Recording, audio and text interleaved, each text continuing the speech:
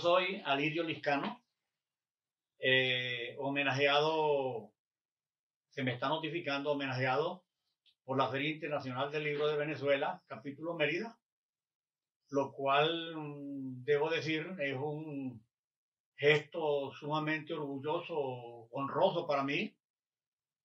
Realmente, cuando uno recibe algún reconocimiento, lo primero que hace es preguntarse si uno lo merece. Yo escribí casi desde adolescente. Escribí, por supuesto, primero poesía. Luego he escrito también narrativa.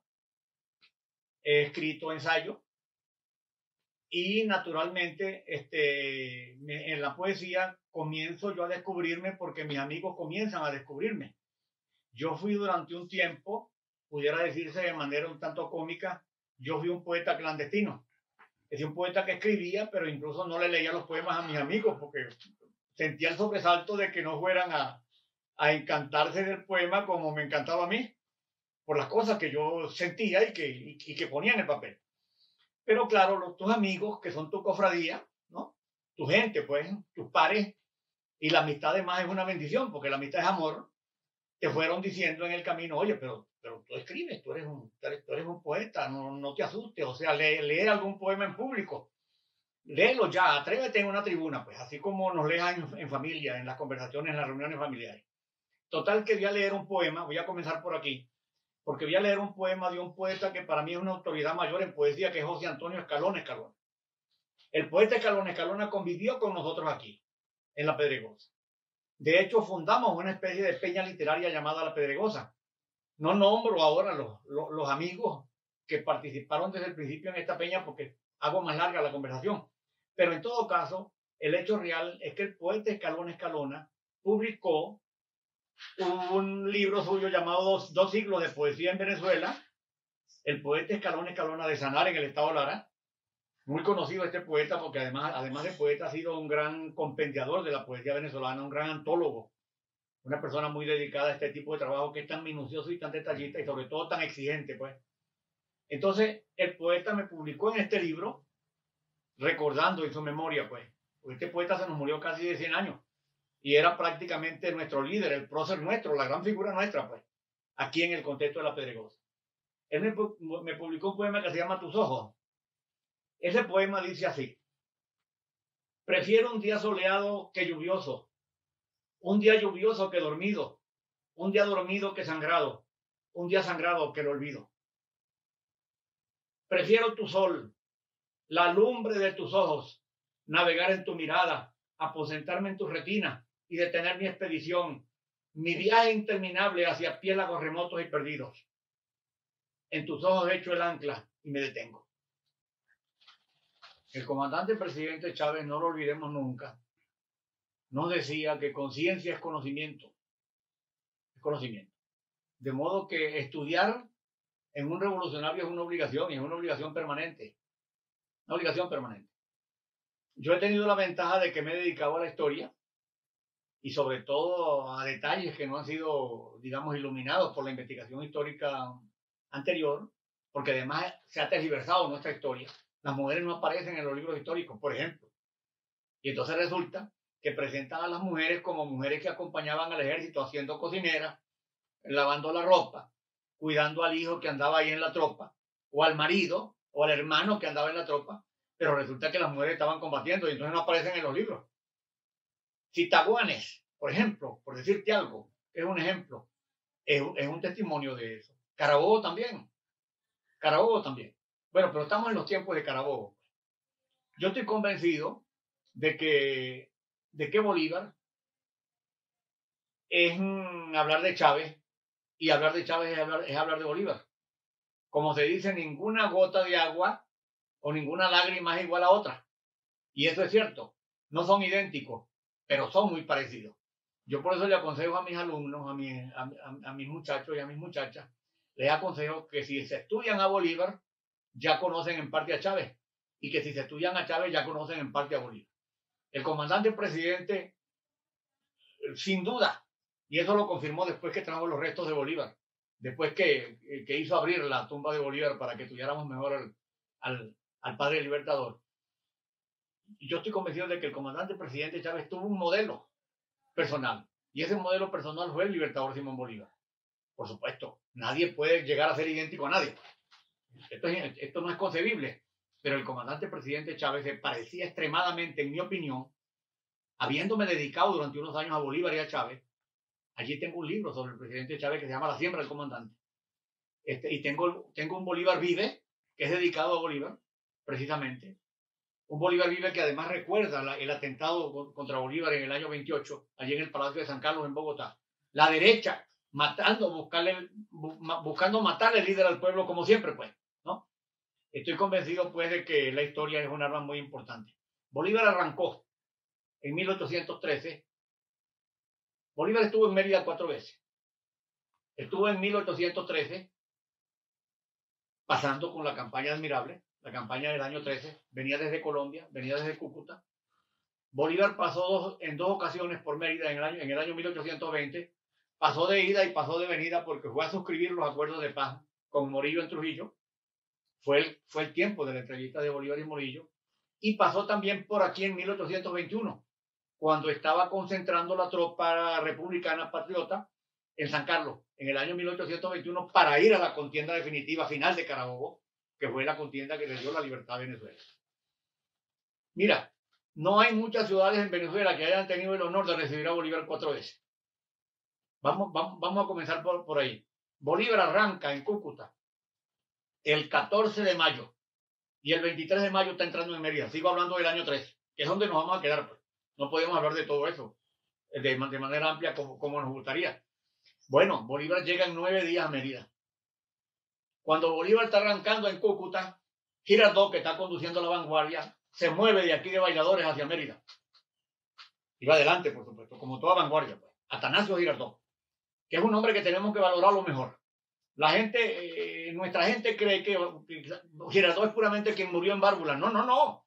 Girardot fue un tremendo comandante de Bolívar. Además, vinculado familiarmente porque tenía relaciones familiares con con, Urdaneta. Tenía relaciones familiares con Urdaneta. Creo que una hermana de Girardot, si no recuerdo bien, si no recuerdo mal, una hermana de Girardot estaba casado con, estaba casada con un hermano de Rafael Urdaneta, que había estudiado en Colombia. Urdaneta. Pero la, familia Urdaneta de Maracaibo estaba más o menos cerca. La familia Urdaneta se movió durante muchos años en Bogotá. Por eso fue que Urdaneta se unió a Bolívar, fue en la campaña del año 13, porque Urdaneta, estaba allá y ya estaban metidos en la batalla de independencia en la Nueva Granada. Bueno, Urdaneta sale, el Bolívar sale el, el, de Cúcuta, llega a Mérida el 23 de mayo. Bolívar prácticamente construyó la campaña admirable. Esta campaña del año 13, que fue una campaña fulgurante. Saca tú la cuenta que Bolívar en menos de tres meses estaba en Caracas, estaba entrando en Caracas. Y estaba siendo proclamado libertador, que ya lo habíamos proclamado aquí en Mérida. Bolívar ganó limpiamente la campaña admirable en el año 13, a punta de valentía, a, punta de inteligencia, porque era un gran genio político, militar, estratégico, el, libertador Simón Bolívar, así como luego lo fue Chávez. Y como luego ha sido Chávez, porque Chávez no es que fue, Chávez sigue con nosotros dándonos lecciones en todos sentidos, como, como tú lo sabes. Bueno, Bolívar pasa por aquí, en Mérida, que era una Mérida todavía pequeña, por supuesto, humilde, sencilla. Mérida resulta que le da el mayor apoyo que Bolívar tiene en el curso de esta campaña. Bolívar llegó con algunos recursos a Mérida, pero necesitaba mucho apoyo. Bolívar se fue de aquí con 400, 500 hombres, que los recibió en Mérida como apoyo. En esos 400, 500 hombres fue gente muy importante que llegaron a ser grandes figuras de la independencia. Hablo de Vicente Campolías, por ejemplo, que era un español que estaba vinculado a Antonio Ignacio Picón Rodríguez, que lo llamaban los merideños el rey chiquito. ¿Por qué? Porque Antonio Ignacio Picón Rodríguez gobernó durante unos años con los realistas, pero una vez que fue ganado por Bolívar por la causa para la causa de, la independencia, fue completamente leal con Bolívar. Fue absolutamente leal con Bolívar fue un hombre bolivariano a carta cabal. Bueno, la mejor prueba de eso es que entre esta gente que se va con Bolívar en el año 13, Antonio Ignacio Picón Rodríguez, el rey chiquito, le entrega a Bolívar, le, entrega Bolívar su yerno, porque Vicente Campo Elías estaba casado con una hija del rey chiquito, con una hija de Pico Rodríguez, pero además le entregó tres hijos. Algunos de ellos prácticamente de, de 14, 15 años, como Gabriel, pues, como Gabriel Picón González. Se fue también Francisco Javier y se fue también, se, se fue también, se fue también Camilo con, con, con, con el libertador Simón Bolívar. Bueno, estos combatieron de aquí para allá, de aquí en adelante, de aquí en adelante. Y Francisco Javier llegó hasta el Perú, porque Francisco Javier combatió al lado de Bartolomé Salón en la batalla del Callao, ya, ya después de Ayacucho. Después de Ayacucho. Hubo, una, hubo un combate de remate, por decirlo así. Así como en Venezuela tuvimos Carabobo, pero después tuvimos la batalla naval del lago de Maracaibo, hubo en el Perú, después de Ayacucho, que selló la independencia de América, de América del Sur al menos, ¿no? Esa que fue conducida por un mariscal de 29 años, que era Antonio José de Sucre, Tú sabes que para colmo, a Bolívar le ocurrió que no pudo conducir a Ayacucho porque Santander desde Colombia se hizo de maña y consiguió que el Congreso de, Bogotá le negara a Bolívar poderes para conducir una campaña militar en otro país. Era parte de, de, toda la conspiración y el complot de Santander contra Bolívar y contra esta corriente que estaba vinculada con la oligarquía bogotana y que estaba vinculada con, estas otras oligarquías, enemigas de Bolívar por, como eran enemigas del pueblo. Al fin y al cabo, Bolívar, como Chávez, no era sino el símbolo del pueblo. Pues. Entonces, estas oligarquías consiguieron desde Bogotá prohibirle a Bolívar que comandara en, Ayacucho. Pero Bolívar tenía un jefe tremendo, magnífico, que era Antonio José de Sucre, que se hizo mariscal ahí con 29 años y que era ciertamente un hombre muy leal a Bolívar, muy leal a los proyectos americanos de Bolívar y además era un tremendo jefe militar. Y por eso ganó Ayacucho hay una cosa que tenemos que decir porque tiene que llenarnos de orgullo. Antonio José de Sucre comandó hombres en Ayacucho con 29 años. Este cumanés con 29 años comandó hombres en Ayacucho de más de 30 naciones que pelearon al lado de nosotros en Ayacucho. El imperio sabe muy bien de estos hechos, de estos eventos. Por eso es que no hay que creer que el imperio, que es prepotente, y es arrollador y es aplastante, es guerrero, pues, porque la violencia es su filosofía. No hay que creer que el imperio no sabe lo que ha ocurrido aquí. Hay que tener claro esto. Morillo, Morillo, que pidió que pidió la entrevista con Bolívar. Yo quiero hablar con el general Bolívar, porque Morillo estaba a punto de irse de Venezuela ya, convencido además de que no podía y estaba rogándole al rey de España que se lo llevara. Bolívar le dice en algunas cartas de este tiempo, le dice al rey de España, señor, usted tiene que conocer a Venezuela y tiene que conocer a los venezolanos. Morillo, que fue herido en combate por estos guerrilleros nuestros. La Torre, que fue herido en combate por estos guerrilleros nuestros, sabían lo que valían estos guerrilleros nuestros. Y te estoy hablando de Paez, y los centauros de la llanura. estoy hablando de España y los centauros de la llanura. Morillo le llegó a escribir al rey de España, Señor, deme usted un general como José Antonio Paez y deme cinco mil llaneros como los que comanda Paez. Y yo les pongo, Señor, este continente a sus pies. Morillo vino fue para pacificar a Venezuela y a la Nueva Granada, Nueva Granada y Venezuela. Ese era, el propósito del rey de España que acabaran con, con, la llama revolucionaria en estos territorios. La Nueva Granada y Venezuela. La Nueva Granada que era virreinato y Venezuela que era capitanía general. ¿Te das cuenta? Sin embargo, Bolívar, eh, sin embargo, Morillo le está diciendo allá a su rey, señor, si usted me da un general como Páez, usted me da cinco mil hombres como los llaneros que siguen a Páez, yo le pongo este continente a sus pies. Eso le dijo Morillo al rey de España en una carta y eso están los papeles. Eso no lo inventó nadie. Después que aparecieron los papeles de Morillo en Cuba, descubrimos todo y nos dimos cuenta. Pues. Entonces nos explicamos por qué Morillo le decía a Sucre, que era el negociador de Bolívar, de los, de los acuerdos de paz, y a Ramón Correa, pues, que era el negociador, el negociador, de, negociador de Morillo. Los jefes de la negociación eran Sucre y Ramón Correa. Y dice, no, no, es que yo no puedo irme de aquí sin hablar con el general Bolívar. Admiraba a Bolívar. Lo admiraba, hermano. Los militares admiran a los jefes que están del otro lado y los respetan. Morillo sentía una gran admiración y un profundo respeto por, por Bolívar. Esta es una cosa que tiene que llenarnos de orgullo.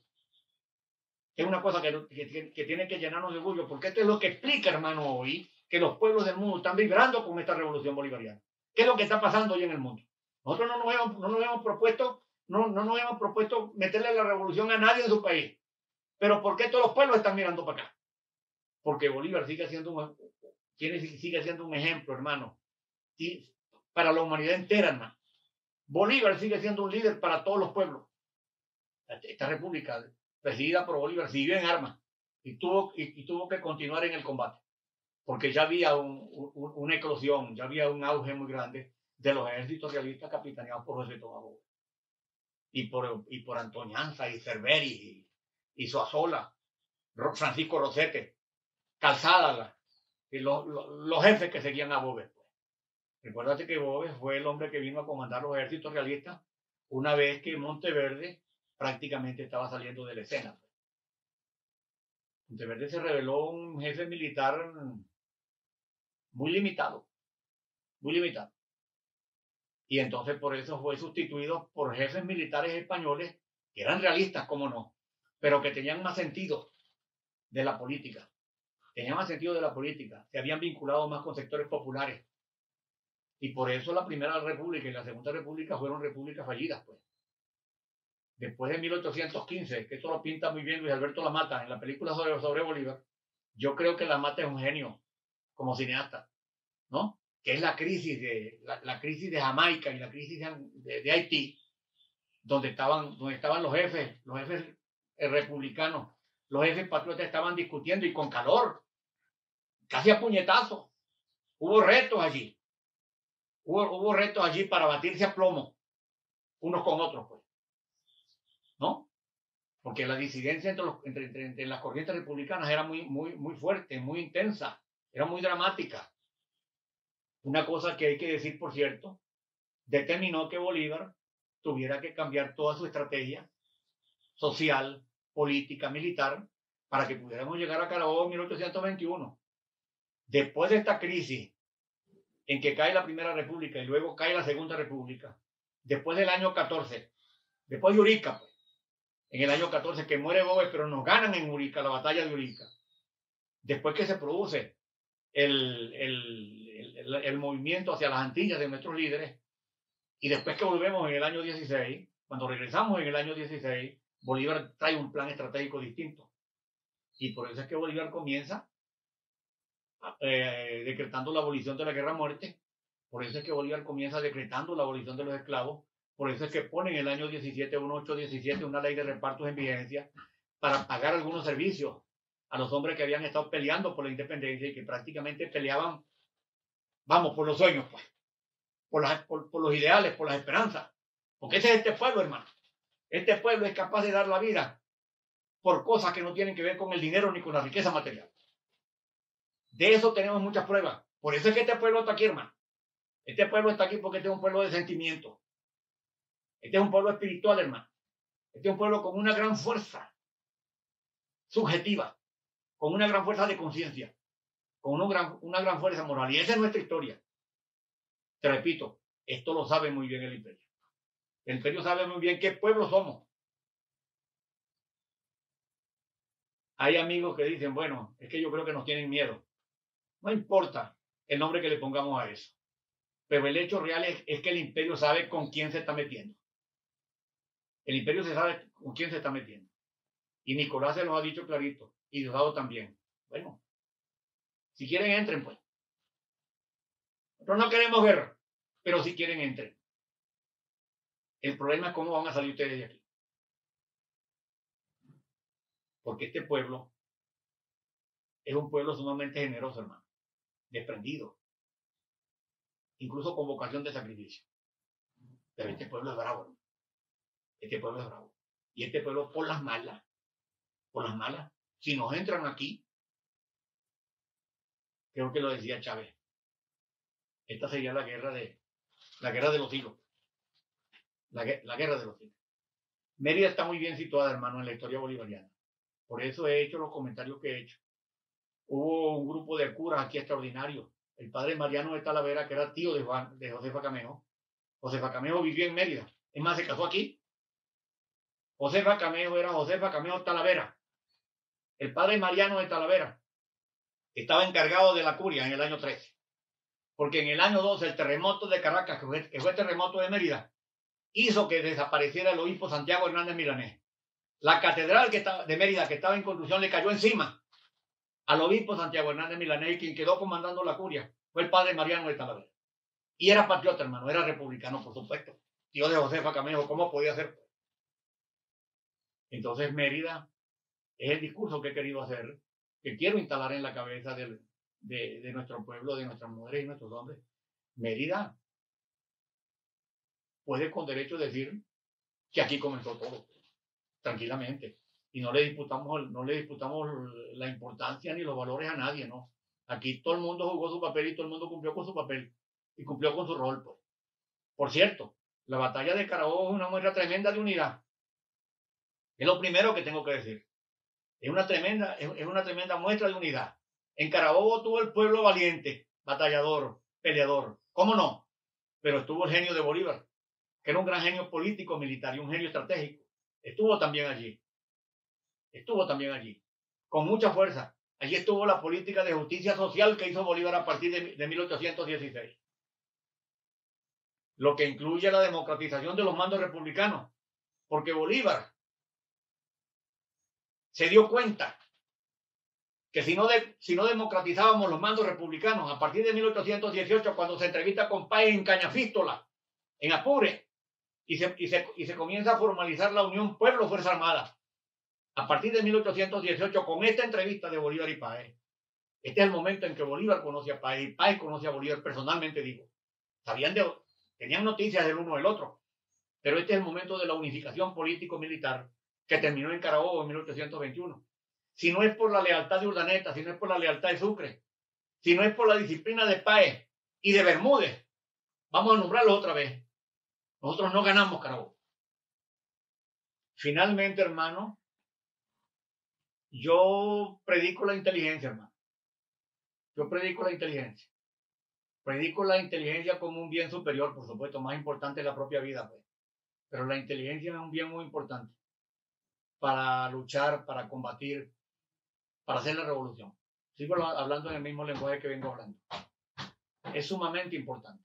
La inteligencia nace, pero se hace, hermano. Si ya la ciencia sabe que nacemos con una capacidad instalada, que está aquí en el cerebro, pero uno puede desarrollar eso, uno puede profundizar eso, uno puede llegar más lejos con eso. Y ese es un tema de estudio, hermano. Es un tema de formación. Desde estas montañas sagradas de los Andes venezolanos, desde Mérida especialmente, particularmente, un gran abrazo para el ministro Ernesto Villegas, un hombre de nuestra, de nuestra estima, de nuestro aprecio, que lo viene haciendo muy bien al frente del Ministerio de Cultura. Un gran abrazo. Entre otras cosas, por este honor que todavía estoy preguntándome si merezco.